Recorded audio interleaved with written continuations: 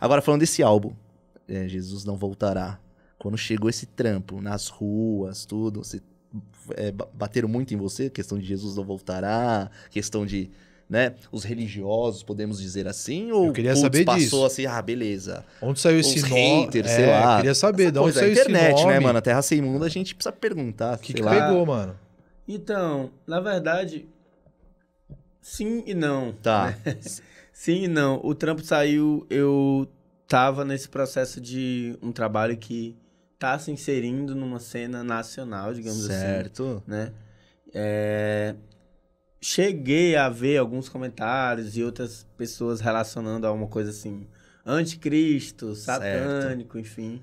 Normal. Mas, basicamente, se você abrir o álbum e for ouvir, e, for, e se permitir ouvir as histórias, por mais que a mensagem, a frase inicial dê um choque para quem tem essa visão extremamente cristã, assim, é, você vai ver que o álbum, a, a frase por si só já não nega, Uhum. porque eu já vi assim, ah, álbum satanista, ateu, Certo. Sendo que a frase não nega a existência de Jesus de forma alguma. Boa. Ela afirma outra parada, e ela afirma o que ela Certo. afirma, Jesus não voltará. Entendi. E, obviamente, existem vertentes da igreja, da, do cristianismo que, que Claro. acreditam isso, mas existem outras que também, por mais que elas não digam essa frase, Sim. elas não, elas não acreditam que Jesus vai voltar. É, esse álbum, é, é, essa frase trouxe esse impacto, assim. É, acredito que ela causa um estranhamento em alguns lugares.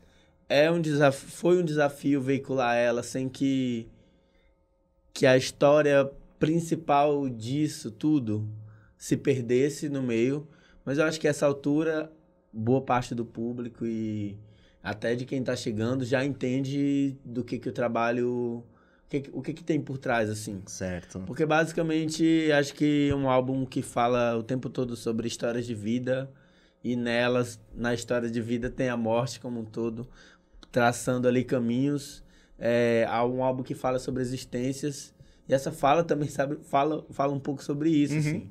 Essa fala é, tanto que na verdade Jesus ele é citado nessa faixa, mas não é figura central no álbum de forma alguma. Certo. Não é um álbum que trata a história de Jesus.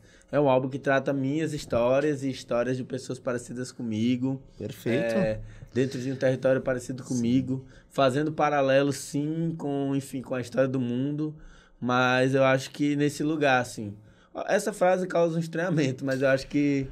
É, que- E você foi corajoso, viu, Foi, cara? sabe por Porque quê? É. hoje a gente vive uma polarização muito grande. Uhum. E a gente vê isso em várias vertentes. Inclusive, é, na política, onde você vê uma bancada hoje totalmente evangélica e atuante, né? É, e cobrando decisões de, de uma classe política. Sim. Então, quando você vem com, com um título desse no- na capa do disco, né, cara?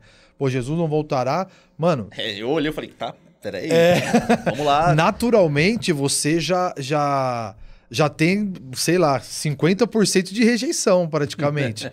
É, até porque a gente tem uma, a- apesar de a gente estar num país laico, a gente tem uma maioria, se eu não estou falando besteira e não mudou esse número ainda, a gente tem uma maioria cristã aqui no Brasil. Então é forte, mano. Mas é impacto. bom ele explicar isso, né? Isso, aí eu, eu ia perguntar exatamente isso pra dar oportunidade. Pra quem não conhece o álbum, ô Matheus, é, eu- você falou que tem algumas histórias, mas assim, o cerne, o centro e a história, o núcleo desse disco, da história, qual que é? Pra galera, pra desmistificar esse- essa parada de satanismo e tal. É, tipo. Senão a galera te, vai te rotular com um monte de absurdo, esse tá povo ligado? chato, né? Tipo, É, a galera vai te tipo, rotular. julga pelo, pelo livro, capa do livro. A capa né? do livro, Cabrão. sim. E foi uma jogada de marketing, acredito também, porque o nome é bom, cara.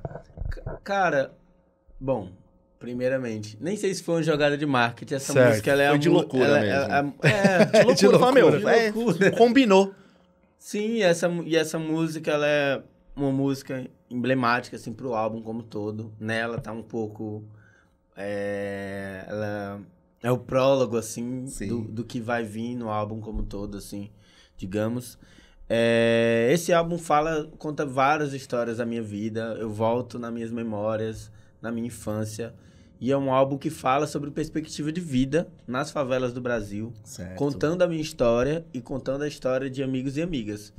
acaba que não é de forma cronológica, é um emaranhado de várias memórias que se misturam ali, todas as faixas. Tem histórias reais, tem memórias reais, tem Boa. pessoas reais é que passaram por isso, que passaram por aquelas histórias que estão sendo contadas. E é um álbum que fala sobre perspectiva de vida nas favelas do Brasil.